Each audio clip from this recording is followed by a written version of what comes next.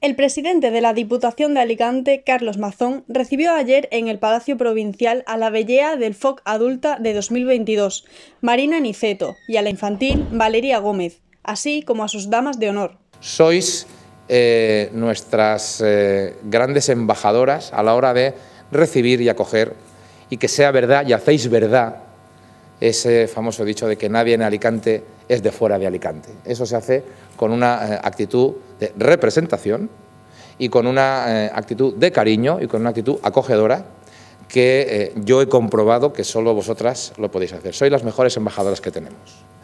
Pero la segunda razón por la que os quiero... Mazón repartió un obsequio a las representantes del fuego, unas carambas con la imagen de la patrona de la Virgen del Remedio y de fondo la bandera de la comunidad valenciana.